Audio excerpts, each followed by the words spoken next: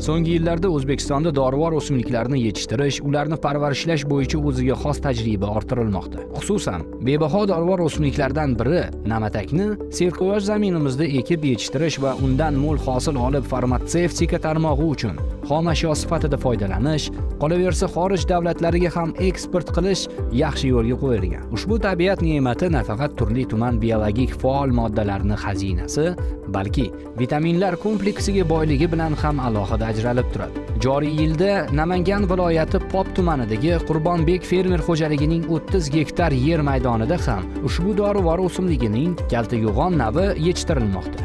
Ma'lum bo'lishicha namatakning ushbu navi har xil zararkunanda va kasalliklarga issiq sovuq hamda suvsizlikka chidamliligi bilan ajralib turadi. Yaxshi yerlarda buncha yaxshi effekt bermaydi. Dasht zonalarga shuni ekkan ma'qulroq daraxtlar uyg'ongandan keyin masalan mart oyida sovuq kelib qolsa o'sha muzlaydigan sovuq kelsa bularga ta'sir qiladi. Ammo lekin uyg'onmagan holatda sovuq ta'sir qilmas ekan. Mana shu yilgi sovuq umuman ta'sir qilgani yo'q.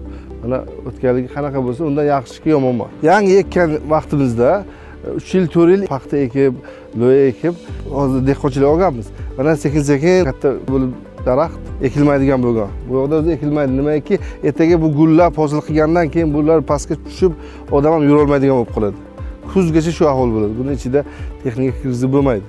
O'sha e, erta bahorda o'g'itlashga e, kuzda terib olishga mavsumiy qo'l mehnati qilinadi bizda. Kuzda o'sha terib olishga yuzta yuz ellikta ayollarni qishloqdan olib kelib o'n kun o'n besh kun yigirma kungacha teriladi.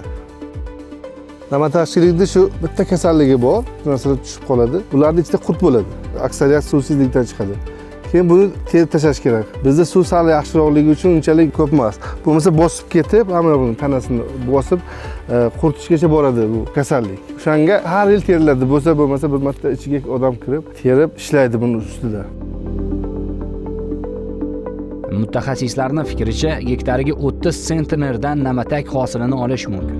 O'simlikning ekish jarayoni baland va past yerlarda qator oralari 2-5 sxemada dasht hududlarda 3-2 sxemada ekiladi. Yig'ilgan hosil birinchi navbatda ichki bozorni ta'minlash maqsadida yetkaziladi.